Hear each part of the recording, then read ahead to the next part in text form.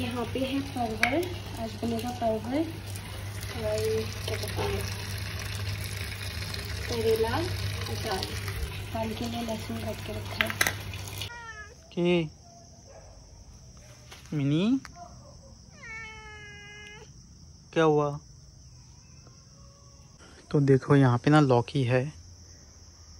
ये देखो। तो जाने में लग रहा है डर। कैसे करके तोड़ूँ? क्योंकि नीचे देखो कितना जंगल है। सांप बाप कहाँ है, कोई ठीक नहीं है। पहले लकड़ी से देखते हैं। अगर होगा भी तो भाग जाएगा।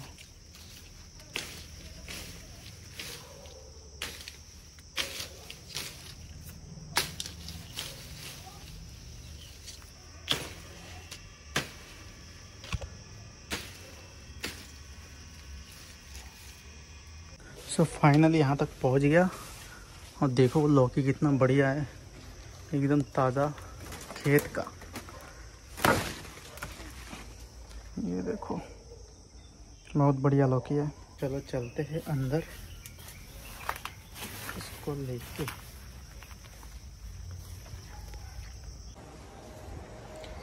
ये देखो ये देखो। पेड़ का लौकी। तो इसको भी दाल में देंगे हाँ? हाँ दाल में सिलाएगा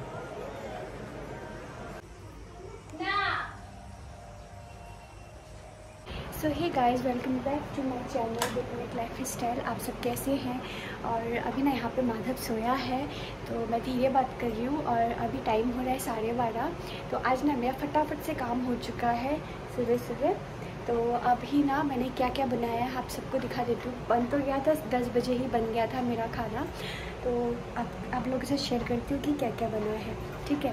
तो पहले दिखा देती हूँ मेरे हस्बैंड क्या कर रहे हैं। वो अपना काम कर रहे हैं और उसको भी निकालना है, उधर साइड से हटाना है। यहाँ पे एक रोटी रखा है तो इसको यहाँ पे ढक के रखा है, थोड़ी देर के बाद खाऊँगी।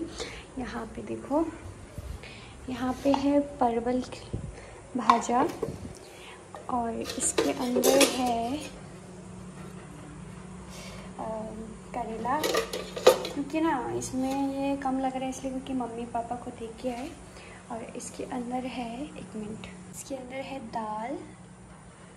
तो अभी ना खाना खाएँगे थोड़ी देर के बाद। यहाँ पे इसके पापा इसको सुला रहे काम करेंगे ना इसको सुलाएँगे। क्योंकि मेरे को ऐसे ना, ऐसे लेना आता नहीं है। और ऐसे ही अच्छा सोता है। तो देखो अच्छा सो रहा है ये। देखो। और अभी तक हमने खाना भी नहीं खाया, थोड़ी देर के बाद खाना खाएँगे। और आज ना सर में लगाया है तेल, क्योंकि ये ना मैंने कल किया था शैम्पू तो थोड़ा बहुत मेरे बालों को भी तो खाना चाहिए ना, कल से भूखे हैं। देखो, उसकी आँखों में नींद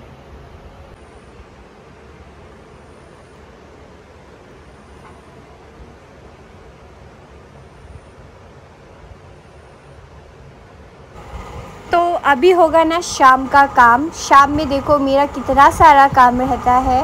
मतलब बर्तन जो जो धोया नहीं। आज ना मैं, आज मैंने धोया नहीं है। मतलब हैंड टू हैंड कभी कभार ऐसा भी करती हूँ ना हैंड टू हैंड धो देती हूँ। कभी मूड होता है तो कभी नहीं होता है।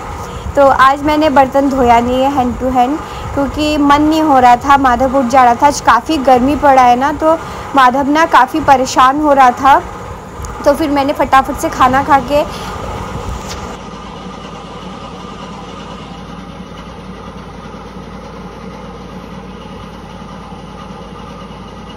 देखो इसने मुँह कैसा बनाया।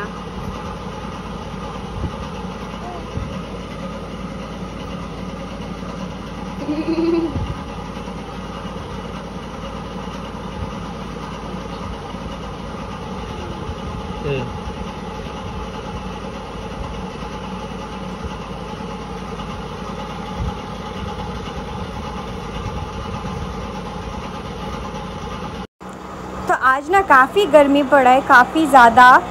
तो मतलब ना, मैं आज बता नहीं सकती, काफ़ी गर्म है और माधव भी आज ना काफ़ी परेशान हो रहा था। और उसको ना कूलर से भी कुछ नहीं हो रहा था, वो उसको बहुत गर्मी लग रही थी। अभी जस्ट, जो कि इसके माधव के पापा ना थोड़ा घुमा के लाए थे बाहर से तो थोड़ा शांत बैठा है यहाँ पे।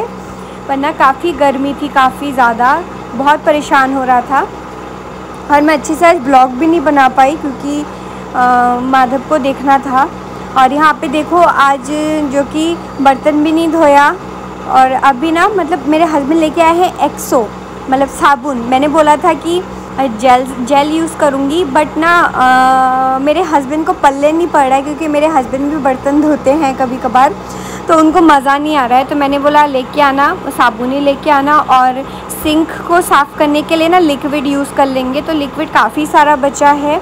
तो मेरा डेढ़ महीना डेढ़ दो महीना चल जाएगा लिक्विड तो खाली लिक्विड से ना मैं खाली सिंक को क्लीन करूँगी और बाद बाकी बर्तन में साबुन से ही क्लीन करूँगी।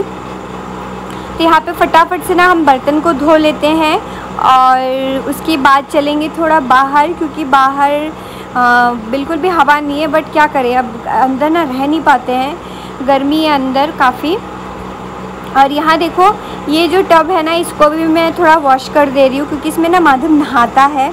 तो इसको भी मैं थोड़ा वॉश करके रख दूँगी, क्योंकि ना इसमें ना साबुन लग जाता है ना तो फिर वो सूख जाता है तो अजीब सा ना हो जाता है। तो चिकनापन हो जाता है तो इस वजह से ना फिर उसको घिसना पड़ा मुझे। और यहाँ पे ना, देखो, मैंने सिंक को भी क्लीन कर दिया है। सिंक को क्लीन करने के बाद जो कि मेरा लास्ट काम बच जाता है माधव का बोतल धोना। तो माधव के बोतल को भी मैं धो दूँगी अच्छे तरीके से। और यहाँ पे ना दूध वाले भैया आए थे तो आज जो कि दूध लिया था हमने। तो आप सोच रहे हो कि यार, दूध लिया तो बहुत बड़ी बात थोड़ी ना है, ये तो आम बात है। मेरे लिए बहुत बड़ी बात है, क्योंकि दूध वाले भैया ना कभी आते हैं, कभी नहीं आते हैं। बड़ा, जब आते हैं ना, बड़ा चमत्कार हो जाता है। और और ऊपर से ना होता ये है कि वो ना टाइम से नहीं आते हैं, दो, एक, दो बजे आते हैं और जब दूध कट जाता है ना तो हमारा ही फ़ायदा हो जाता है। मतलब हम पनीर बना लेते हैं उसका या फिर छाछ बना लेते हैं, कुछ ना कुछ बना ही लेते हैं। बट मैंने उन भैया को बोला है, दूध कट जाता है तो वो आप पे डिपेंड होता है, मैं उसका पैसा नहीं दूँगी।